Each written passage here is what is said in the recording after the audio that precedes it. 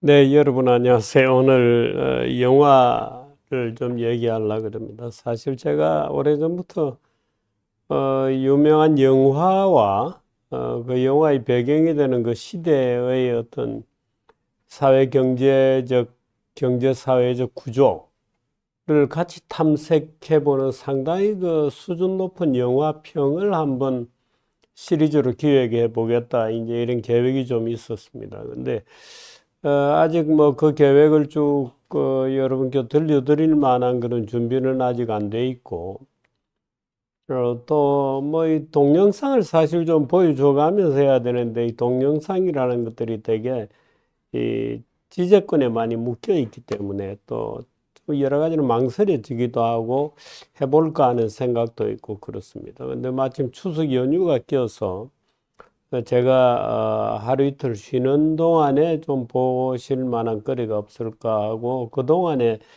어, 한번 해봤으면 하고 준비했던 미스터 존스, 어, 존스 씨라고 하는 이 미스터 존스라는 것은 그 영화 안에서 계속해서 그, 그 미스터 존스라고 불리, 불리게 됩니다. 어, 근데 그 주인공이 미스터 존스 기자입니다. 기자인데 지금 이 여기 사진에 보듯이 이 카메, 카메라를 들고 어, 우크라이나를 취재를 갑니다.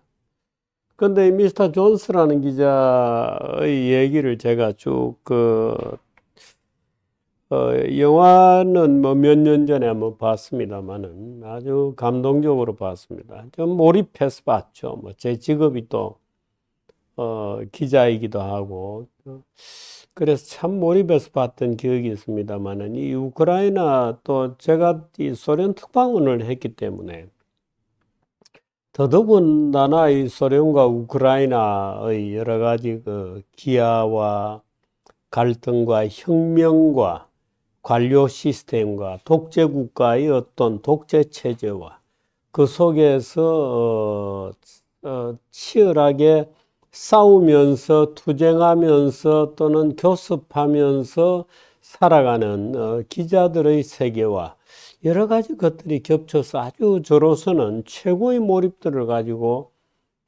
어, 봤던 영화이기도 합니다. 주인공입니다. 원래 이 주인공은 외무성에 지금 근무하고 있다가 어, 소련에 취재를 하러 떠나게 됩니다.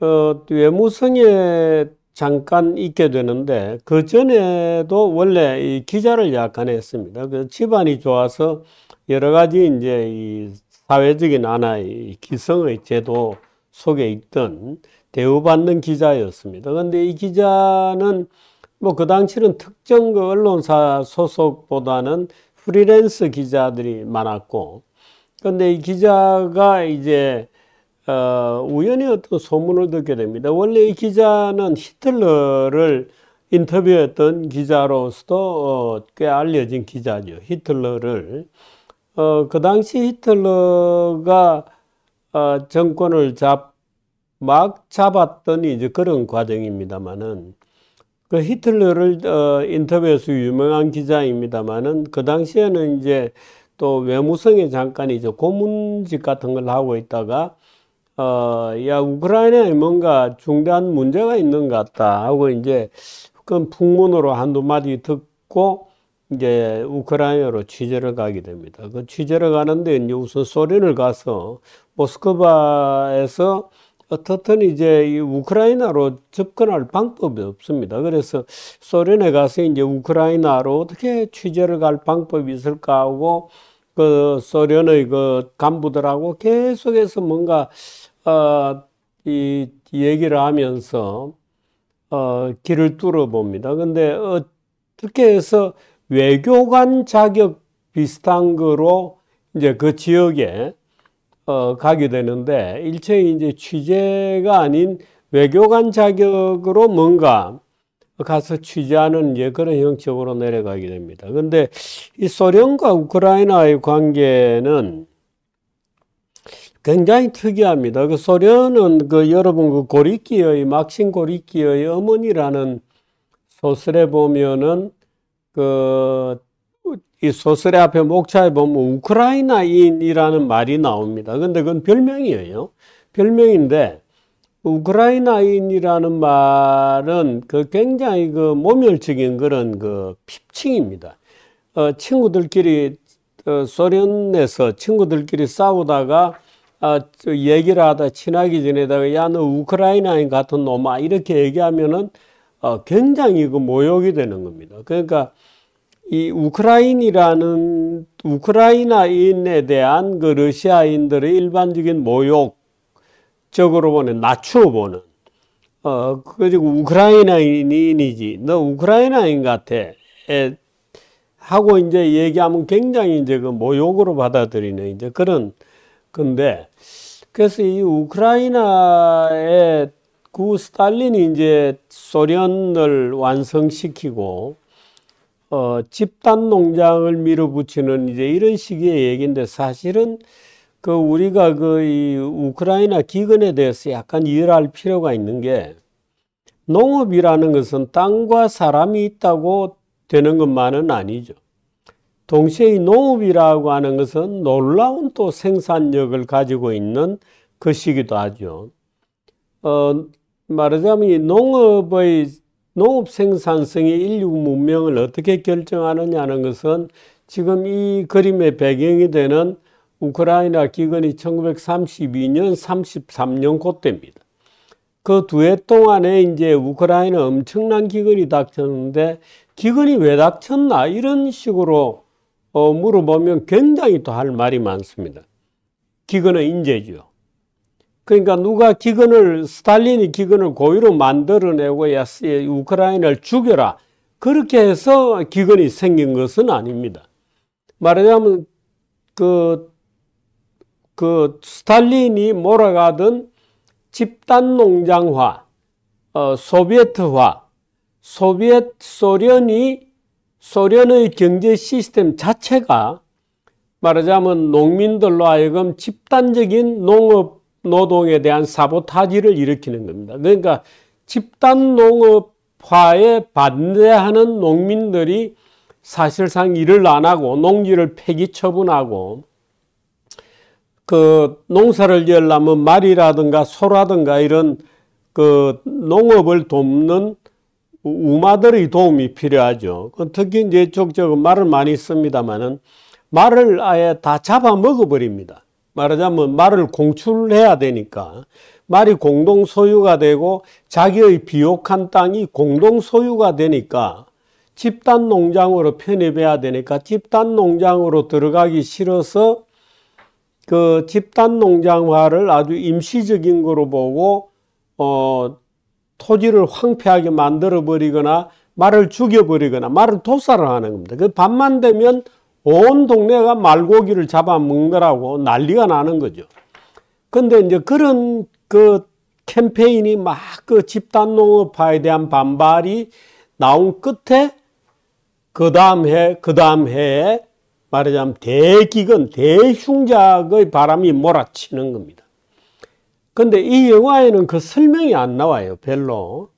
그러니까 이 영화 감독도 사실은 그 문제에 대해서 깊어 천착을 안 한 겁니다. 그러니까 어느 날 막 기근이 터진 거로 이제 이야기가 시작이 되는데 왜 그런 기근이 터지는지에 대한 그 많은 영화, 소설 또는 지금도 우리가 그 여러 가지 그 그런 경제 공부를 할 때 우리가 이제 깨닫게 되고 알게 되는 것은 인간의 노동이라는 거죠.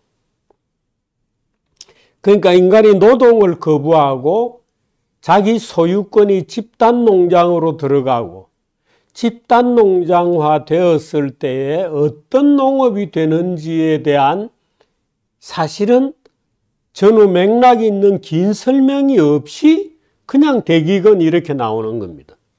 그러니까 사람들이 그 공산주의가 불러내는 그러니까 우리가 다 알듯이 스탈린도 이런 대기근을 만들어내고 모택동도 왜 그 대기근을 만들어내잖아요. 대약진 운동 나오고 그 직후에 어마어마한 기근이 덮치게 되는데 그게 대, 그 마찬가지죠.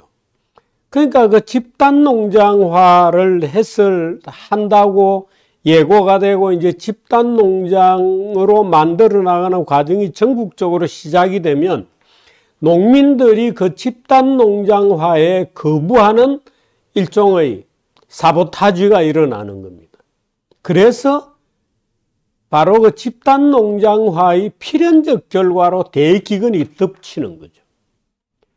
그러니까 우리는 사실 이런 영화를 보면서도 그 인간 행동과 삶, 인간 행동과 경제, 어떤 경제 시스템이 인간을 먹여 살리는지에 대한 또는 어떤 경제 시스템이 문명과 풍요를 가져오는지에 대한 깊은 성찰을 사실은 느껴야 되는데 이 영화에서는 그런 설명은 그렇게 깊이 나오지 않습니다.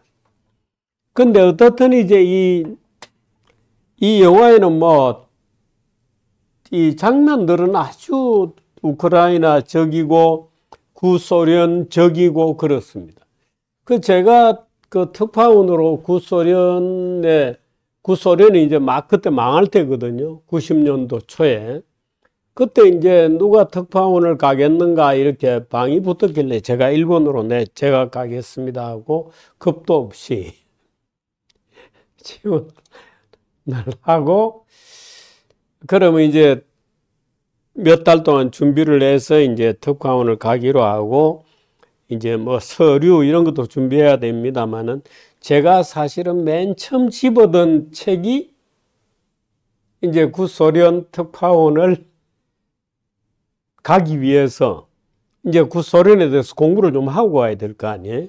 그래서 맨 처음 집어든 책이 사실은 조지 오웰의 1984였어요.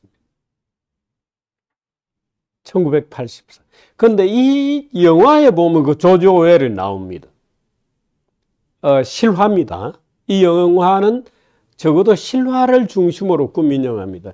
그래서 가레스 존슨이라는 게 지금 이 장면은 어, 우크라이나에 가서 사람을 만나서 초췌한 다 굶주리, 굶주려서 죽음을 싣고 다니는 것처럼 보이는 이 노인을 만나서 깜짝 놀란 얼굴이 되죠. 어떻게 이런 얼굴이 되나? 어, 하고 이제 감시의 눈길들이 이렇게 경찰들이 있기 때문에 이제 눈을 부릅뜨고 이제 하면서 그 이제 기차에서 내려서 가는데 이런데 이제 벌써 사람들이 죽어 있는 거죠. 근데 이 지금 이 장면에서 뭐 조지 오웰이 나오는 것은 아니고 이 우크라이나로 떠나기 전에 구소련의 모스크바에서 이제 기자들이 모여서 뭐 저녁도 먹고 하는 일종의 바 같은 데가 있는데 거기서 이제 조조웰이 뭔가 막 쓰는 장면이 나오고 가볍게 인사하는 그런 장면이 나옵니다만은 제가 구소련에 그 특파원으로 갈 때 꺼내 읽었던 책이 바로 그 1984입니다. 어물한 얘기죠. 스산한 얘기입니다. 인간에 대한 한없는 그 멸시와 모멸이 번뜩이는 조지 오웰의 천재적인 소설이죠. 그런데 사실은 그 책을 읽고 제가 모스크바에 도착해서 집을 구하고 아파트를 구하고 아파트는 그 현지인들의 아파트로 들어갔습니다만은 외계 이 국제 아파트로 안 들어가고 저는 현지인의 아파트로 들어갔습니다. 어, 근데 참 그런 거 많이 느꼈죠. 많이 느낍니다. 그 구소련의 그 음침한 어두운 더군다나 그 구소련이 망할 때죠. 우크라이나 얘기가 나왔습니다마는 스탈린이 우크라이나이기 때문에 고의로 예를 들어서 저 무슨 굶주림을 부르거나 어, 했던 것은 아닙니다. 스탈린은 예정대로 우크라이나에는 평소에 얼마가 생산되고 거기서 수출 물량은 어느 정도이므로 그 물량을 걷어갔던 거죠. 굶어 죽는 줄 모르고 생산량이 급감했다는 것을 모르는 상태에서 어, 트럭에다가 실어 보냅니다. 어딘가 보면 그 장면이 나옵니다. 지금 이거 뭐 겨울에 어린이들이 얼어붙은 감자를 캐는 장면이라고 되어 있습니다. 사람들이 죽어가는 장면이고 노인들이 이제 슬슬 피하면서 이렇게 걸어 다니는 장면입니다. 아주 뭐 이런 장면은 제가 어, 러시아 특파원으로 90년 말에 어, 갔을 때 보았던 할머니들하고 똑같습니다. 뭐 똑같습니다. 지금은 굉장히 많이 바뀌었습니다만은 1930년대부터 제가 갔던 90년대까지 어, 러시아인들의 표정은 똑같습니다. 그대로입니다. 무겁고 어둡고 그렇죠. 어, 배급을 기다리고 있고. 근데 이 서구의 우리들하고는 조금 다릅니다. 이런데 배급을 기다리기 위해서 많은 사람들이 있습니다만은 어, 평소가 이건 물론 굶주림의 장면입니다만은 우리가 구소련이 무너질 때 이런 장면들이 굉장히 많이 언론에 등장했잖아요. 근데 의외로 안 죽습니다. 사람들이. 왜? 이 사람들은 가만히 보시오. 생존의 달인이 되어가지고 이 빵집 앞에 긴 줄을 서 있는데 긴 줄이 있으면 일단 사람들이 그 줄 뒤에 서요. 그러면서 물어봅니다. 앞 사람한테 뭐 하는 줄입니까? 이렇게 물어봅니다. 그, 이 줄은 나도 몰라요. 사람들이 서 있으니까 따라 서는 겁니다. 많이 서 있을수록 빨리 뒤에 가서 서죠. 왜? 많이 서 있을수록 이거는 필수품이다. 그러니까 자기도 서야죠. 그리고 앞 사람한테 물어봅니다. 이건 뭐 하는 줄이에요? 나중에 보면 빵이죠. 근데 이제 그 선반이 쭉 있고 빵이 다 떨어, 금방 떨어져요. 그 실망하고 돌아갑니다. 이 사람은 오늘 저녁 굶주릴 거냐? 아닙니다. 구소련이 망할 때쯤 되면 전부 생존의 달인이 되어가지고 제가 그 로컬 아파트에 갔는데 집을 빌려서 찬장을 열거나 천정에 이 뚜껑 이런 걸 내리고 보면 빵을 말려가지고 싹 말려가지고 그게 꽉꽉 쟁겨져 있습니다. 그러니까 자기 집에는 땅이, 빵이 지금 꽉꽉 쟁겨져 있는 사람이 줄이 있으면 또 서는 거죠. 그러니까 집에는 빵이 쟁겨져 있는데 빵집에는 빵이 하나도 없습니다. 전부 뒤로 빼돌리는 거예요. 전부 뒤로 빼돌리는 거예요. 그런데 이 우크라이나의 기근은 그런 것은 아니었어요. 말하자면 농민들의 사보타지가 만들어낸 기근입니다. 그러니까 자기가 자기를 굶어 죽인 거죠. 누구 때문에? 스탈린의 집단 농장화라는 것에 농민들이 행동 양식은 농민들도 아, 뭐 생산량이 그렇게 줄지는 않겠지 하면서 말하자면 교묘하게 자기를 숨기기 위해서 자기의 재산과 땅을 숨기기 위해서 초지를 방치하거나 어, 말을 죽여버리는 이런 방법으로 사보타지를 한 그 집단의 결과가 그 해, 그 다음 해 기근으로 폭발하는 겁니다. 인간의 어리석음이죠. 스탈린이 만들어내려고 했던 집단 농장, 소위 공산주의 체제라고 하는 것이 만들어낸 인간의 어리석음, 굶주림, 이런 것들이. 그참 비참하잖아요. 인간은 얼마나 간사하고 비참한 존재이냐.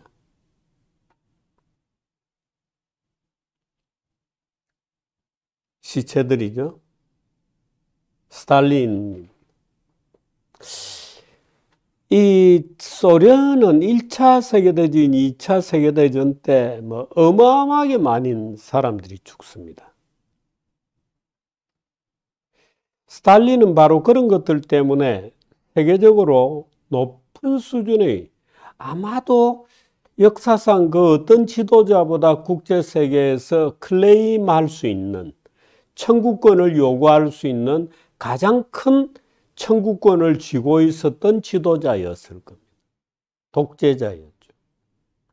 이 스탈린이 만들어낸 게 말하자면 우크라이나, 지금 우리는 우크라이나 대기근으로 기억하고 있습니다만은 사실은 우크라이나 대기근일 뿐만 아니고 몰도바, 폴란드, 그 동구 지역에서부터 구소련 지역 전부를 어, 흔들었던 까자크스탄까지 뒤흔들었던 어마어마한 사이즈의 어,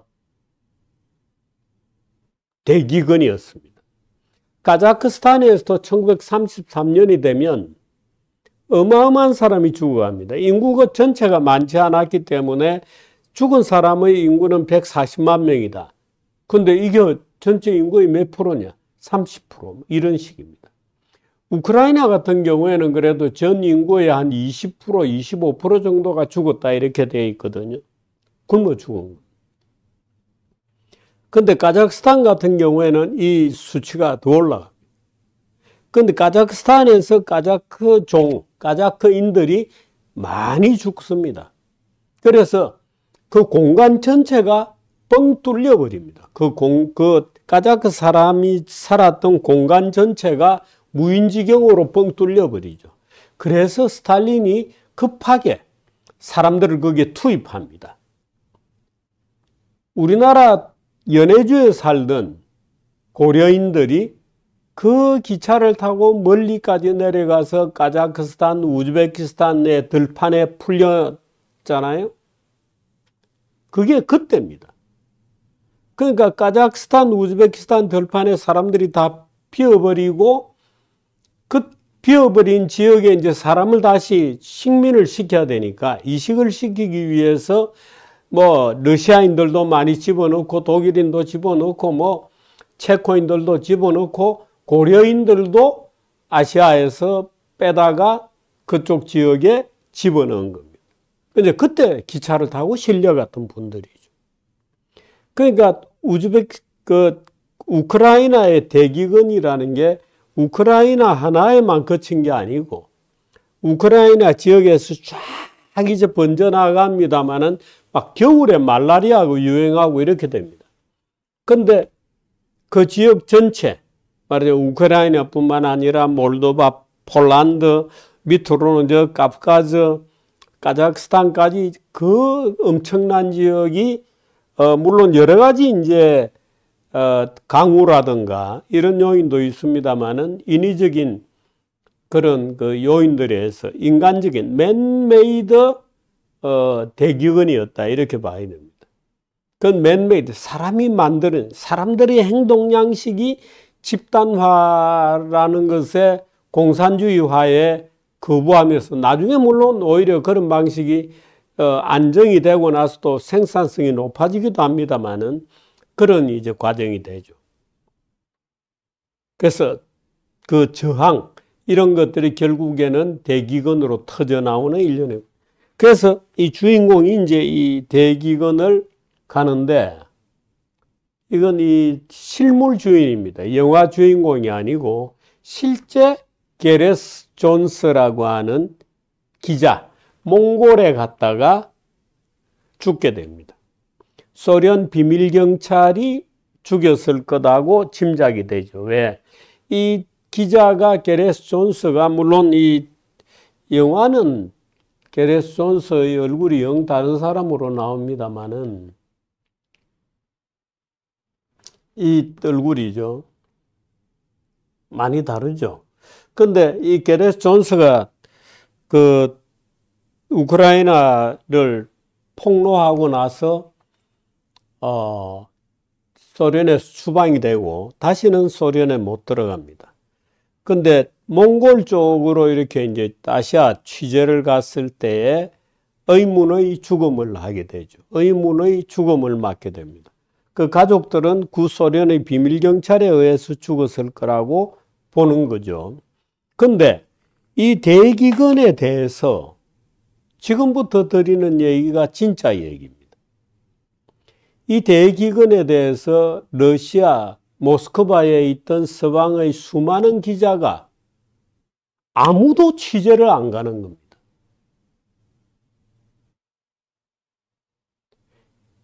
왜 취재를 안 갔을까 하는 것이 미스테리 중의 하나입니다.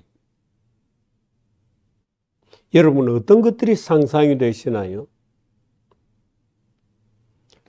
이런 겁니다. 이 얘기를 얼른 드리면 여러분들이 이야기가 참 어려울 수도 있습니다. 왜? 기자들이 게을러서? 아닙니다. 출장을 안 보내줘서? 예, 그것도 있습니다. 모스크바 시 외곽으로 벗어나려면 당국의 허가를 받아야 되는데 그 당시 당국이 그 허가를 내주지 않았습니다. 그래서 이 게레스 존스도 외교관 역으로 신분이라는 것으로 위장하면서 빠져나가는 거예요. 그 우크라이나 쪽으로 내려갑니다. 건너가게 됩니다. 근데 이제 그 점이 있고 가장 중요한 점은 그럴 리가 없다는 생각입니다. 왜? 당시 러시아에 파견을 갔던 전 세계에서 온 이 기자들에게 구소련이라는 것은 인간의 미래의 희망이고 인민들의 집단적인 선의 의지가 발현되는 곳이고 계급의 사슬을 완전히 끊어내고 이제 인민들이 평등한 조건 하에서 인민들끼리 단결하고 새로운 어, 노동자 농민들의 미래를 열어가는 그런 아름다운 국가가 스탈린의 구소련이었기 때문입니다. 그러니까 말하자면 기자들에게 그 당시의 기자들은 그런 논리 구조 속에 스스로를 어, 이입시키고 있었던 거예요. 그러니까 누가 야 우크라이나에서 굶어 죽는데 야 웃기지 마. 무슨 인민의 천국에서 굶어 죽어. 라고 자연스럽게 느낀다는. 지금 이 그 영화에서도 들어 그런 갈등이 나옵니다만은 그 당시 30년대, 40년대, 50년대까지 구소련은 앙드레 지들을 비롯해서 서구의 뭐 사르트 그 까미를 비롯해서 서구의 수많은 그 얼치기 지식인들이 소련에 직접 가기도 하고 뭐 직접 못 가보더라도 이 소련에 대한 찬사를 늘어놓는데 소련은 인류의 미래고 말하자면 자본주의의 온갖 폐단이 끊어졌고 노동자 농민들은 완전히 이제는 어, 지배계급의 사슬로부터 벗어났고 하는 그 환상에 사로잡혀 있었던 거죠. 그 대표적인 사람으로 나오는 게 뉴욕 타임즈 모스크바 지사장이었던 월터 듀란티라고 하는 기자였습니다. 이 기자는 당국이 제공해주는 마약과 여자에 취해 있었어요. 더군다나 구 소비에트 러시아라고 하는 어, 대 취해 있었을 뿐만 아니고 물리적으로는 마약과 여자에 취해 있었던. 그 소련은 너무나도 아름다운 곳이고 소련은 너무나도 황홀한 곳이고 소련은 인류의 해방의 의지가 폭발적으로 실현된 곳이기 때문에 사람이 굶어 죽는다는 게 말이 돼? 라고 느끼는 거. 말하자면 그 당시 구러시아에 구소련에 있었던 기자들은 하나의 가설 무대 속에 벌어지는 어, 인형극이 진정한 현실이라고 보도되고 있는 거죠. 그 당시 서구의 지식, 많은 지식인들이 러시아에 대해서 끊임없는 찬사를 늘어놓던 시절입니다. 물론 조지 오웰 같은 사람들은 그 구조 속에서 빠져나오게 됩니다. 그래서 동물농장을 쓰게 되죠. 위대한 작품인 동물농장을 쓰게 됩니다. 그리고 1984를 쓰게 됩니다. 그러나 대부분의 기자들은 못 빠져나오죠. 그 환상 속에서 못 빠져나오는 우리들은 그런 사람을 레닌의 어법을 따라서 useful idiot, 쓸만한 바보들이라고 얘기합니다만은 그런 쓸만한 바보들은 아시아 전역에 넘, 넘쳐 있었습니다. 공산주의가 실현되는 그 모든 지역에 넘쳐 있었습니다. 중국에는 우리가 잘 아는 에드가 스노, Red Star of the China. 중공의 붉은 별. 중국에 뜬 붉은 별. Red Star of the China. 그 정말 저도 학교 다닐 때 참 감동적으로 읽었거든요. 근데 그 거짓말이잖아요. 거짓말, 아름다운 거짓말 포장. 그 당시 미국만 하더라도 미 국무성에 소련을 동경하는 자발적 간첩들이 마치 우리나라 80년대 종북들처럼 드글드글했던 겁니다. 드글드글했습니다. 그 당시 뭐 모스크바에 있던 서방 기자들 전부가 그랬던. 그래서 이 게레스 존스가 우크라이나를 가서 사진을 찍고 취재를 하고 또 하는데 그 영화에 보면 참 기가 막힌데요. 급기야는 어떤 집에 들렀는데 어린아이들이 침묵 속에 조용히 앉아서 무언가를 먹고 있는 것. 뭘 먹고 있나? 그 형제 중에 한 명이 굶어서 죽었습니다. 그 시체가 뒷마당에 있고 시체의 고기를 잘라가지고 요리를 만들어서 조용히 먹고 있는 것. 충격적인 장면이죠. 충격적인. 그렇게 해서 그 당시 우크라이나 전체 나중에 조사된 바에 의하면 33군데, 33군데 도시에서 식인이 어 많이 관찰되었다 그러거든요. 식인 사건이 나는 거. 근데 모스크바에 앉아 있는 기자들은 그걸 부정하는 겁니다. 야 말이 돼? 그래서 이 게레스 존스 기자가 막 기사를 써가지고 미국과 일본, 아, 영국의 언론사들에게 보냅니다. 프리랜서니까. 아무도 안 실어주는 겁니다. 아무도 안 실어주는 이럴 리가 있나? 이 우크라이나는 세계의 곡창지대인데, 뭐, 굶주림이라니. 아무도 안 실어. 뉴욕 이브닝이라고 하는 데서 실어줍니다. 미국에서. 그것도 한참을 막 언론사를 이 기사를 실어줄 신문사를 찾아서 그러니까 그 당, 그 당시에 미국에서 최고 러시아 특파원 구소련에 나가 있는 기자 중에 최고봉이 월터 듀란티거든요. 뉴욕타임즈 지사장. 월터 듀란티가 기사를 써가지고 얼마 전에 어떤 기자가 그런 기사를 썼는데 그 거짓말이다. 그 기자는 유명해지고 싶어가지고 거짓말을 쓰는 거다. 하고 그 기사를 부정하는 기사를 씁니다. 뉴욕타임즈 기자. 이 월터 듀란트 기자는 퓰리처 상을 받았던 기자이기도 합니다. 뉴욕타임즈는 나중에도 2000년 들어와서 그 다시 심사를 했습니다마는 다른 공적이 많았으므로 그 퓰리처상을 취소하지는 않습니다.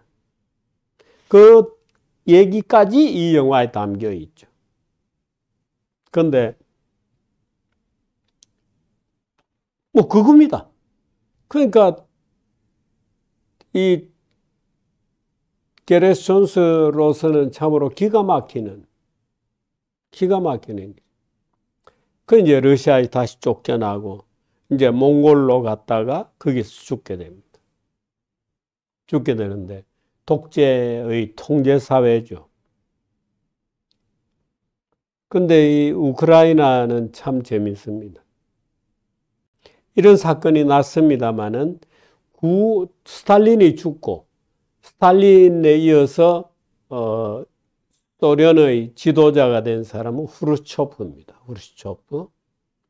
후르초프는 우크라이나 사람. 후르초프, 브레즈네프, 체르넨코, 어, 고르바초프까지가 전부 우크라이나 사람. 이 우크라이나 대기근의 대가였을까요? 이상하죠? 근데 이 말하자면 스탈린이 죽고 나서 후르쇼프, 브레즈네프, 체르넨코 또 누가 있었죠? 하고 고르바초프까지가 전부 우크라이나 사람. 그런데 후르쇼프가 이제 서기장이 되고 국가 지도자가 되고 우크라이나 사람들을 위로하기 위해서 크림이라고 하는 따뜻한 흑해 연안의 반도 지역을 그 지역에다가 좀 더 붙여서 우크라이나의 국토로 우크라이나 영토로 넘겨주게 됩니다. 아마도 그 지역에서부터 이제 대기근이 발 터지기 시작하거든요. 그 줍니다. 영토를. 푸틴이 그걸 다시 빼앗고 있는 게 지금 우크라이나 전쟁입니다. 그때 주었던 거 내놔라. 동시에 그래서 2014년에 그 크림반도를 빼앗았고 이어서 그 동남부에 러시아인들이 많이 이주를 해서 우크라이나인하고 섞인 지역들이 쭉 이어지거든요. 그 지역에 러시아 사람들을 보호하기 위해서 그 지역까지 러시아 땅으로 내놔라 하고 지금 우크라이나하고 전쟁을 하고 있는 거죠. 역사는 돌고 돈다고 할까요? 역사는 반복된다고 할까요? 그렇습니다. 지금 그 전쟁을 하고 있는 중입니다.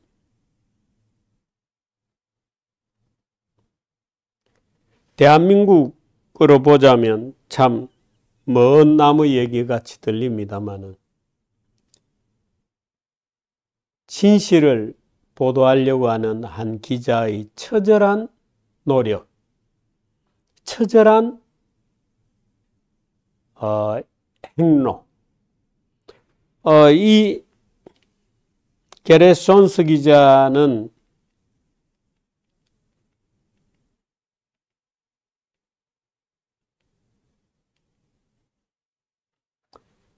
어, 29살에 죽게 됩니다. 참 일찍 허망하게 죽었죠. 29살에 에, 어린아이들을 남겨놓고 죽게 됩니다. 게레스 존스. 우크라이나의 대격은 홀로모도, 홀로모도르, 홀로도모르를 세계적으로 알렸던 어, 위대한 현장 기자의 얘기였습니다. 어, 여러분 재밌게 들으셨기를 바랍니다. 사실 구 러시아, 구 소련하고 뭐 우크라이나 저는 우크라이나에 그 여러 번 갔습니다. 그래서 어, 키예프 때 에, 드니에프르 강이 크게 지나가고 또 참 그야말로 어마어마하게 큰 농지죠. 그야말로 인 류의 뭐 빵바구니다. 고할 정도로 어, 농업이 잘 되는 그 지역입니다. 근데 지금 이제 전쟁이 터져서 많은 사람이 죽고 아마 농사를 진행하기도 어렵고 어, 올해 내년에 또 어떤 기근이 닥칠지 모르겠습니다.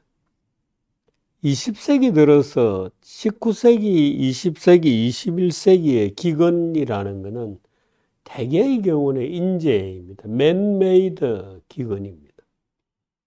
어, 인간의 행동이고 인간의 행동이 만들어낸 어, 반사적 행동들의 누적이 기근을 만들어냅니다. 그건 단순히 자연은 아닙니다. 하늘에 비가 안 와서 기온이 뜨거워져서 단순히 그런 문제는 아니에요. 인간의 행동에 그 원인들이 있는 거죠. 그렇습니다. 어, 네, 게레스 존스의 어, 미스터 존스 어, 이 영화는 여러분들이 넷플릭스나 이런 데 찾아서 한번 보시기를 바랍니다. 이 약간 이 다큐멘터리 비슷한 어, 성격도 있기 때문에 어, 조금 글쎄요. 몰입해서 볼 수 있습니다. 지루하지는 않습니다.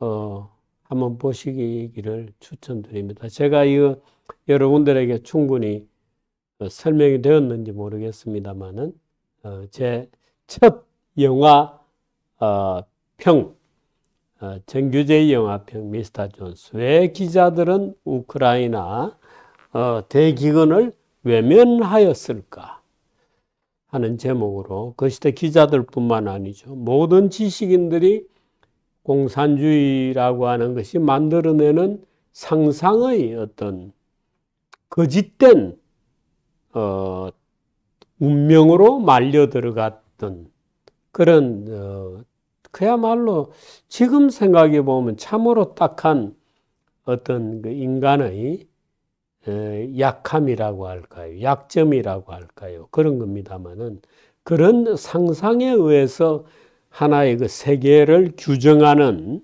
그런 지식인들의 이 허구의 이미지가 너무도 강고하게 인간을 규정했던 그런 어리석음의 시대였다.